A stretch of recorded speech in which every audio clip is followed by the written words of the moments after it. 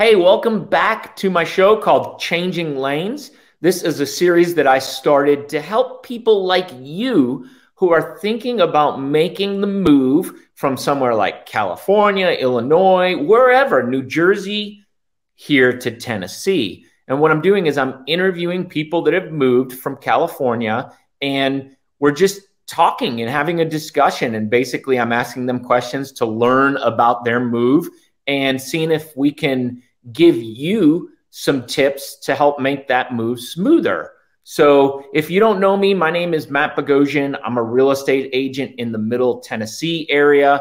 I love doing this stuff on YouTube and helping people like you. So, I'm going to go ahead and bring on my guest right now. Let me unmute her first. Hey, there she is. Hey, hi, Matt. How are you? I, I'm doing well. I hey, you know what? I I loved your title. Oh, thank you. Perfect. Guess how I found that name? How? The movie? No, Chat GPT.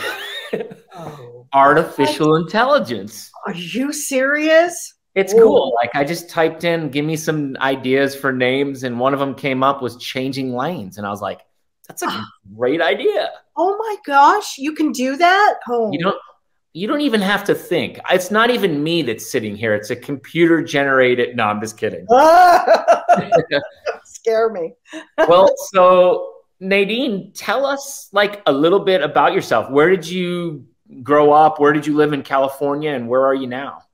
Okay, so I am a native California born and raised in the Southern California area in um, an area called Redlands. Oh yeah. And yeah, and and uh, it's a nice, quaint area, um, very family oriented. You know, the the the streets are, um, you know, like country.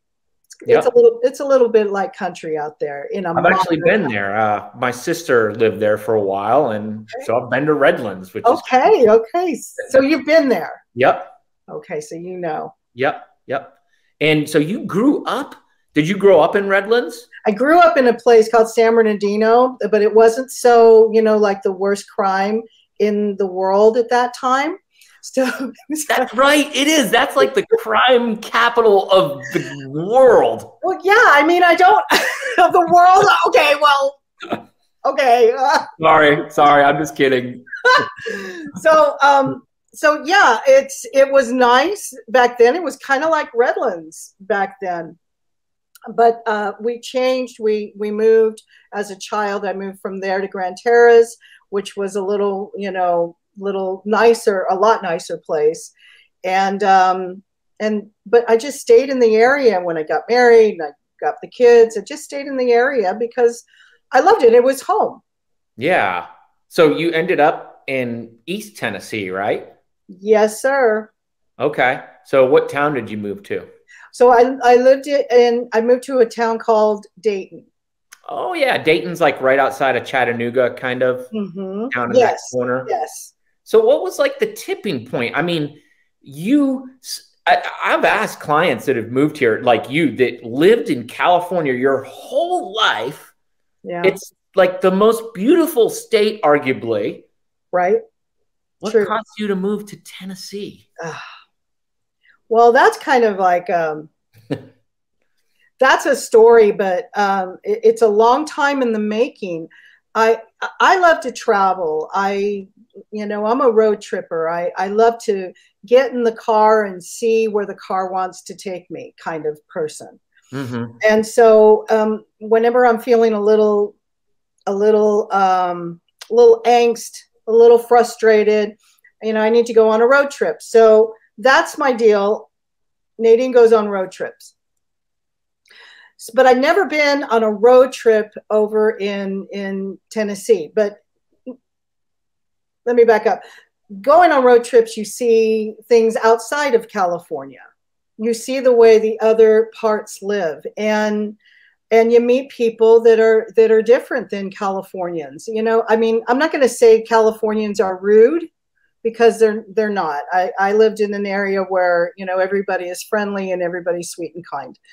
Um, but but when you go outside of the state, uh, there's just a different feel, a different take. I'm not quite sure how to describe it. It's just like that. So I thought about going to Idaho. And I have have a friend that lives in Idaho and I went out there on a road trip to you know check out the area and and I parked in her driveway and and I I was visiting and I went, "Oh shoot. Should I should I back up the rent a car so that they don't see my tags? And she says, Well, no, that's okay. You're just here for a little while. I said, I was kidding. Are you really? She's like, Yeah, they're a little, they don't really. So that was like, oh, okay, that's a sign. Yeah. No yeah. to Idaho. No to Idaho. So, yeah. so they're not very welcoming to you, at least not right there. No, they have. Um, what did I see? I saw a, I saw uh, not a bumper sticker, but it was a license plate that said "Go back to CA." G O B K two C A. I'm like, wow. You're like, okay. No, not not my place. So, um, this started about seven or eight years ago when I when I was thinking about moving and Tennessee just came out. I don't know. I can only attribute it to a spiritual prodding. Yeah. Tennessee. And I had never been to Tennessee. I have two friends that live here, but I have yet to see them when I'm when I'm here. But um, it, they had nothing to do with that. That was like a, a discovering that they were here. Yeah. Um, after my idea, so so that's kind of like the way it started. Okay. When did you move here to tennessee? What year? Last year. Oh wow. So so most people that i've talked to have said that like and i and i think this could be for various reasons not just political too i want to say that up front because sometimes i feel like everything can go political and but like a lot of people during the pandemic said hey that was like a turning point mm-hmm that kind of said, I'm making the move. Mm-hmm. Was that the same for you?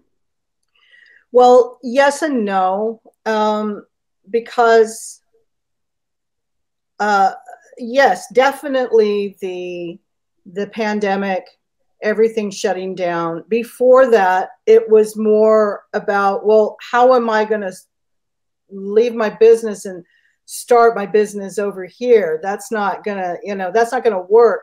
So when the pandemic hit and everything started going viral, uh, or not viral, a uh, virtual, oh, the, that helped. Uh, okay, so and the and the political leaning also with the constraints that helped. Uh, but the one thing that was hard for me to do was to sell my home that I had been living in for 20 years. Oh my gosh. Yeah. That, you just you'd have everything set up how you want it, all your yard, probably your flowers, everything. You are absolutely right. So what happened was the year of the pandemic, no, the year before, I started um, I started re, re renovating my house. Sorry. Okay. I started re- renovating my house. And uh, by the end of it, it was uh, 2000. Okay. So it was 19. I started, and at the end of 19, and then in 2000. So that was that was a big deal. When I stopped, when the eh, renovation was over, I sat back in my house and I went, everything's perfect the way I like it. I've always wanted it this way and now I'm going to leave. So I sat there for probably about two months and I thought, oh, I kept on thinking about Tennessee. Well, what should I do? What should I do? What should I do? And I hear this inner voice inside me say, um, Well, what are you waiting for? And so I didn't really have an answer to that. What, what am I waiting for? It's like I was waiting for my life to begin. Yeah. And so when I, that was my answer, I called up my realtor the next, my realtor friend the next day, and I said, I'm ready. Let's put it up. And so that, that was the pinpoint moment where I was really asking myself, no, not lofty ideas. I didn't have lofty ideas, and it's going to be this, and it's going to be great. I, I, just felt like this was a, a turning point in my life where it's either now or never kind of thing and i needed to i needed to just answer that call and That's so really interesting and i want to back up here first of all because i feel like your perspective is really good because of what you do uh, uh, for a living mm. So just tell everyone quick what you do and about your business because i thought that was interesting how the pandemic caused you to kind of go a little more virtual it mm-hmm. sounds like. Yes. And then you're like sitting there going wait a second. This mm-hmm. isn't so bad. I can do this virtual business. Right. And now you're doing it from dayton tennessee. I know. So what do you do? What's the name of your business okay so my name of my business is steel recovery and i am a uh, addiction counselor okay and i've been addiction counselor for almost 30 years so I had my own private practice for about two years um, before I left California. so I've been I've been in the private sector, um, and actually no, it was a government sector, um, uh, working for the county. And so when I when I retired there, I went into private practice. Wow. And so I had got a brick and mortar and you know i had clients coming in there and i and I, I go, of course i wanted to still move out of california but i felt like that is something i well now i'm not going to be able to do that for a while i have to stay i always wanted virtual coaching and counseling but nobody was really you know getting the hang of that they didn't yeah. they, they want to see you face to face when the pandemic hit, obviously everyone went virtual, and and uh, I had to close down my my office because nobody was coming. You know, at that time, yeah, yeah. scared, and nobody was going anywhere, much less sitting in an office with somebody. So, so I had to close down my office, and that was the jumping point to virtual, virtual counseling, virtual life coaching. See, that's amazing. And I like too. So then moving back to what you were saying about your light, like moving to Tennessee, you and I talked briefly before, like it is like I think about a lot of I know there's so many people right now in California that are like waiting for some kind of like perfect moment to mm-hmm. move where like there's not going to be any uncertainty and there's not going to be any trouble making the move and like that's never that never exists. No. How would that you'd have to like win the lottery, right? Like some crazy things. So like you have no kids like have to be out of school perfectly. Your home cells, you get here in front. It just is too right. So eventually you just have to say, what are you waiting for? Right? Like just yeah. Because what are you waiting for? Yeah, like I I think of that like um this is like a crazy extreme example, but I just feel like I just want to say it. Like I recently went under contract to buy a Airbnb beach house in Florida. Yeah. Okay, I'm scared, I'm nervous, there's all sorts of uncertainty. Mm-hmm. But like I see a lot of people my parents' age and they're like, I wish I always had a beach house. I wish I did this or that. And I'm like, if I don't do it right now, if I don't jump on it, I'm not going to be able to afford it when I'm older, and there's going to be reasons why I can't get it. Right. So I just ripped the band aid off and did it. That's so cool. Good for you. and I'm not, look, I might on the outside be like, yeah, beach house, but on the inside, I'm nervous and scared. And I know that that's how people probably are like you that moved here. Yeah, sure, sure. I mean, you do it afraid, right? You you just go and and and what do you what do you have to lose these are these are all internal questions that you need to um, you need to address you can't just you can't flippantly make this this um, this move that's going to change your whole life um, on a whim it's like uh, we have a we have a um, a phrase in recovery called um, geographics. So in with with the um, with addicts or alcoholics, they, they you know I know what the problem is. They just move, you know. So they just move from place to place to place, you know. Yep. But everywhere you go, there you are. So looking at you know why, asking yourself the why. Why do you want to do this? Why do you want to move? What is your what is your reasons for this? You have to answer your why. Yeah. And, and then then you can figure out exactly what your what your next approach is. Did you how did you land in Dayton? Like how did you figure out where you want to be? That's a good question. So, okay, so I knew Tennessee. So I wasn't getting Alabama, Mississippi, Massachusetts. I wasn't getting any I mean Idaho is no. No Idaho. So, but I just kept getting Tennessee. Okay. It was like spiritually getting Tennessee. So, okay, so it, it's Tennessee. Where in Tennessee? So, like the flag, broken up into three areas, right? Yep. So, the big thing here's a big thing for for Californians the humidity. Where's is like we freak out about the humidity. We yeah. can take the heat. We yep. got 118. It's a hot one, but we're okay. We're yeah. melting but it's the it, you know when you guys say oh it's like it's like 98 like, what's 98 until you know last week last summer was my first summer here Woo. oh it was hot i get too. it i get it but i just you know i didn't want the, the humidity that yep. was really my only deterrent that's just for me that was my only deterrent and so when i wrap my head around anywhere i go anywhere in the whole 49 states is not going to be like California, period. Right. I, I, I, live in the arguably the most beautiful, the most perfect weather wise state in the union.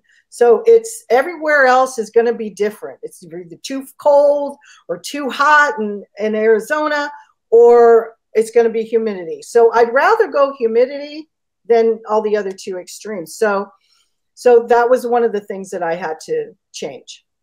Yeah, yeah, that is a tough one. I mean, I moved from Massachusetts in 1996, and I'll never forget. I went to UT in Knoxville, going to my first math class, and dripping wet, and the pencil was smudging on the paper, and everyone else was in like long sleeve button up shirts and pants. and I was like, how am I going to live here? But I, my body's acclimated to it, and I'm fine now. I know, right? It's so weird. It's so weird. Okay, so your question was, how'd you get what, to Dayton? Okay, I'm so sorry. I digressed. So, I, you know, what really helped me was the Facebook pages. Yeah. Um, moving from California to Tennessee.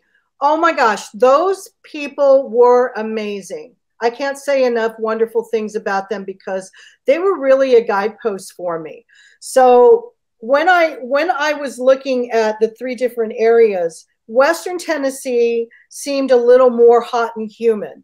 Yeah. Middle Tennessee seemed a little more tornado-ish and still hot and humid and not uh, uh, flat plains. Yeah. And I didn't like flat plains. So Eastern Tennessee seemed a little more cool. And so I just looked and and it had a lot of mountain areas. Yeah. So I looked at that. That I'm like, okay, that's the area, the region, you know, going in the the DAP. Yeah. I don't know. I always try to do that. My kids are awesome at it. Oh yeah, that's right. so, so all the way from Chattanooga all the way to the DAP Yep. That's what I was going to do. I'm going to I'm going to do um, I'm going to look in that area. So I mean, I love down by Dayton. I I do a lot of like I do I say I do a lot. I used to and I want to do more again of like mountain biking, mm. and I also have a dirt bike and like to do trails and I like hiking. And Chattanooga is like unbelievable for that. I just say I'm I'm lumping Dayton into Chattanooga just because it's in that yeah, that's okay area. so much hiking and like kayaking and rock climbing. Mm-hmm. Oh my gosh. It's breathtaking, especially now that it's spring. It just takes my breath away looking at all this this green. I mean, yeah. I, my favorite color is green. I'm living in my favorite color, and it's everywhere, just splashed everywhere. It's just everywhere. So, what about your move? Did you use movers, or did you? How did you get your stuff to Tennessee? Pods. Uh, okay. I, I call pods. And it worked good. Yes, it worked. It worked well. Um, one of the things that that that messed me up was when I was well. First of all, it was the monthly was pretty expensive. It was about two fifty at that time last year. So monthly um, meaning like to store your a stuff? month, yes. Okay. To store it. So I was thinking, oh, why don't I just store it here? So mm-hmm. so it was like eighty dollars to store my big pods. So I thought, well, let me just get a price on how much that would be. What is the price now? So I called, and the person that answered asked me a date. And I said, I'm not looking for a date. Well, we can't go any further unless you give me a date. I said, Well, let's just put this date. Well, unbeknownst to me, they called me that date and said, Our your pod is on the way, but we can't we can't um, fulfill it until you give us a call. I'm like, what? So like I'm moving. not yet. I didn't even have a house. So that changed everything. That changed. Um, and every time I I called, it was like it was it was a disaster. So eventually, because they were every time I called to make sure that you know nobody was they that they erased it, um, they put they put my um, my my request in the queue. So I kept on bumping it down, whatever. Anyway, it was a mess. My my my advice is do not call them until you are absolutely ready on the date. That's it. Everything else went okay. That's like anything these days. You can't just call and have like a, com- a conversation and set something up like normal and have it just like work. Right. Like that's funny because we just had to order furniture for that Airbnb and like there's all sorts of dates. They said they'll wait. I don't know what they're gonna do. That furniture might be down there right now. it's on the curb. Somebody come pick it up. I had no idea. I mean, you can't just click a button and yeah. say, "Hey, can you deliver at this date?" Like, yes, yes. So that's yes. good to know. So wait until you're ready, so you can give them a firm date. Don't try firm to. Yes, and of course, that what's wonderful is you can speak to a live human. Yeah, mm-hmm. that is nice. It and is then, did nice. you use movers when you got to Dayton, or did you mm-hmm. unload everything yourself? Uh, I unloaded myself, my granddaughter, and her friend. Oh, nice. Okay. Yeah. you said, yeah. Sounds awesome. yeah. Man, yeah, but I moved it into into a a storage unit, and then the next month I bought my house. So oh, that's the worst. Uh, I know. I always tell clients like, don't ask me to help move. Like, I'll give you five hundred dollars, but I'm not moving people. Don't say that, Matt. I know. Like, okay, hey, I, I don't want to ask you to move, but can you give me five hundred dollars? No, no, don't say that. So wait, so who went with you on this move? What's your family like? I'm just curious. Like, so so I went by myself. It's, okay, it's just me. Okay, and my whole family, my my uh, daughter and her family are were in California. My mother, my sister, and her family. So um, fast forward to now, my daughter came here. Okay, um, they have to wait until their son gets out of school, and so him and her husband are coming here um, my mother, I bought the house and with knowing that my mother wanted to come. See, they came after I bought the house. My sister and my mother and my and my daughter came for the first time for them too to come to Tennessee to see if they even wanted to live here. And oh. they fell in love. Yeah. So wait, you're out there, are you single and ready to mingle? Do we need to try to I find don't know you? about ready to mingle like that. I think that that was a long time ago, but yes, I am single. All right, gentlemen in, in Dayton, you can meet her at the Walmart on Friday at one o'clock. There'll be a line. She will interview you. You're funny. yeah. How'd you know there was a Walmart here? She prefers that you be over six feet tall. No overalls. Oh, okay, yeah, no overalls. I know you could find some.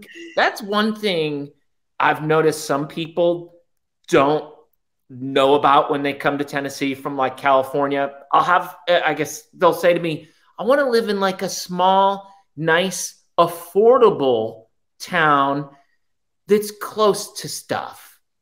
And I'm like, well, what do you mean? So, like, when you go to these affordable towns outside of Nashville, and I say affordable, so say you're looking for a house for 300,000.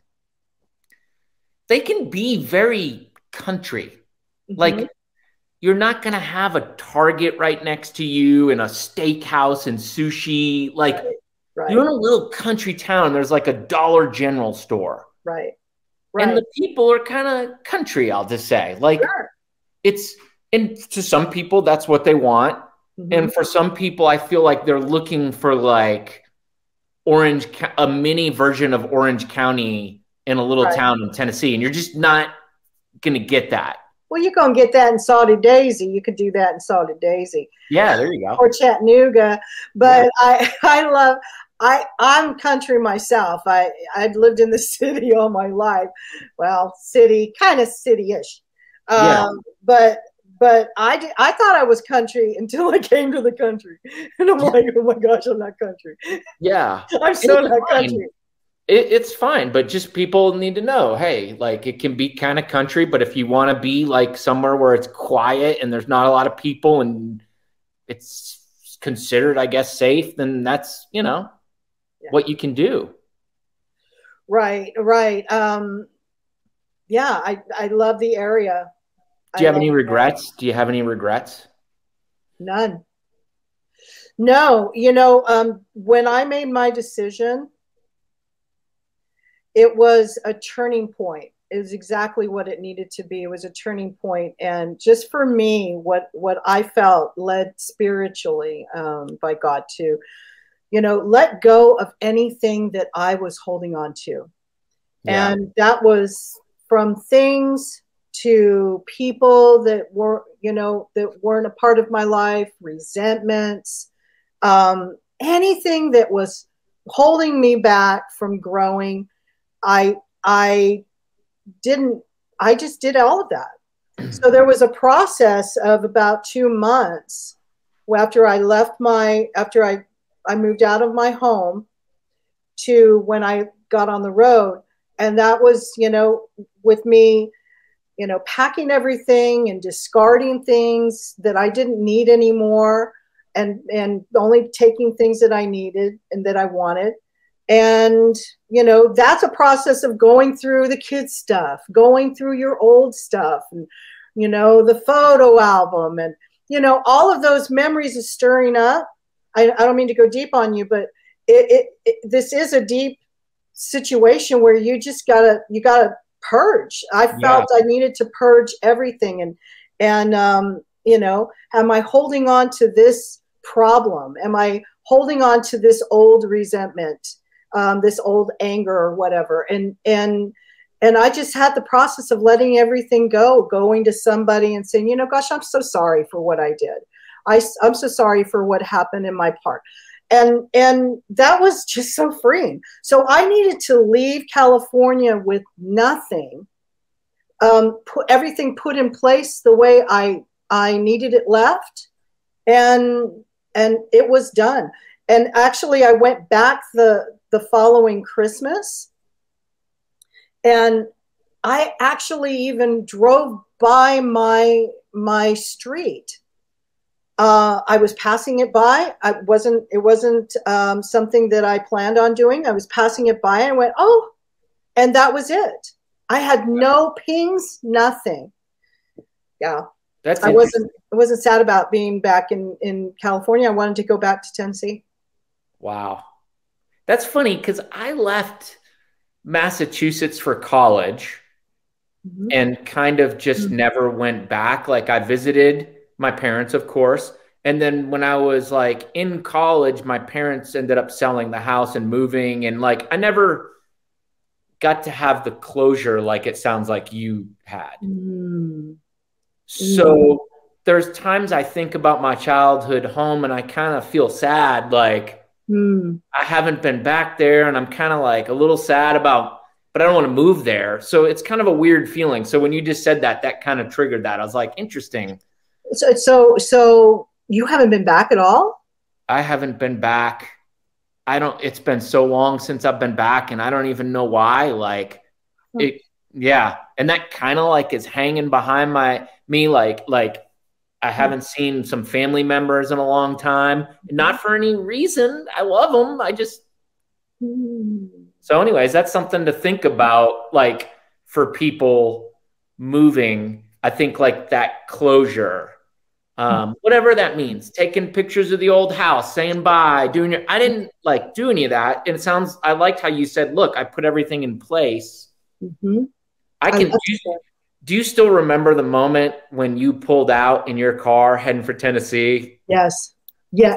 Yes. That's crazy. When you got on the road. Oh, yeah, I was so excited my sister and I actually, actually, um, she went with me because mm-hmm. she wanted to see, right? But we did this long road trip. I think it lasted us uh, three weeks, our road trip back, because we went to Idaho again to see my friend, and then we shot out and we were going to do a lot of sightseeing. So we had a fantastic trip, and it was it was a blast. So when we left, she had she had um, she had compiled all this music to our travel. So mm. good. That's awesome. We, what what did we what it was all a surprise, right? So she was in charge of the music. So when we hit the road, when we hit the freeway, the 15, what do you think she did? What song was it that was playing? Hit the road, Jack. Nice. Charles. nice. That's awesome. I know. I love it. It's perfect. That's uh the music on road trips is just so awesome. Putting on like old like I I used to listen to stuff like um John Mellencamp was mm-hmm. one of mm-hmm. my favorite. Um stuff like that and like uh what's his name Bryan Adams you know Bon Jovi yes put that I stuff on and just hit the road the all their albums yeah you can do all their albums so you took three weeks, and we can wrap up here in a minute. I try to keep these to around 30 minutes, but you took about three weeks to get here then with all your stops. Because mm-hmm. I've had several people say, I've had several people say, hey, they just like tried to get here and like as quick as possible. Mm-hmm. And then several others said, look, just plan on making it like this cool, memorable trip mm-hmm. and take your time. Yeah. Did you where did where are some places you stopped? Like did you stop at like any national parks or like cool hotels or anything? Well, actually we tried to do um, Yellowstone and and Mount Rushmore, but it was so cold at that time. It was the end of of October, and they were they were just they were having a freeze out. So yeah. we couldn't we couldn't do that, and so we had to go other places. I can't tell you because yeah. we got lost. You got lost, but still, you were with your sister too. Like I feel like to be with your sister yeah. and have that bonding experience at this mm-hmm. stage in your life is just neat too. Fantastic fantastic. I would never do it any other way. It was so much fun. And the other the cool thing about it was with my with my business, I was able to, if you got Wi Fi, if I had a client that day, I just had to make sure I was at a hotel. Oh, yeah. And, and that was it. Meeting. Mm-hmm. Mm-hmm. Huh. Yeah. Well, let's wrap this up. Okay. I appreciate it. How can people? i am going to post this in the group on Facebook, and I'm oh, also okay. going to post it on my YouTube channel. Okay. How can people? And I'll put it in the description. But how can they find you if someone wants to maybe book a call with you to talk about an addiction or a problem they're having in life or whatever? Sure. Um, www steelerecovery.com, and that's Steele, S T E E L E, Okay. recovery.com. And Okay. my phone number, it, my business number is 909 219 2589. Okay, cool. Well, thank you. I really feel like this was a great meeting. I've enjoyed meeting with you Oh, good. and I, I've enjoyed it too. chatting. So if I'll uh I'll set up that uh interview for all the guys at Walmart down there in Dayton for you. Well, thank you. Be there at 1 p.m. Friday. Wear a tuxedo. Yeah, yeah. All right. Well, I hope you have a wonderful day. It's Yeah, been great thanks, Matt. This was really great. Um, I, I really enjoyed talking with you. And good luck on your Airbnb and all your endeavors in this channel. It's really helpful. I'm, I'm glad that you did it because there's so many people who are leaving, obviously, but they don't know. They, they we're, they're just in the same boat as us. And, you know, we, we have to have a little bit of guidance. So Yeah, I think I think it's good to hear from someone like you too, and see how happy you are now, and yeah very and it, happy. it can be done. So, It can be, yes. All right. Thanks, All right. Matt. thank you. Uh-huh, bye-bye. Bye.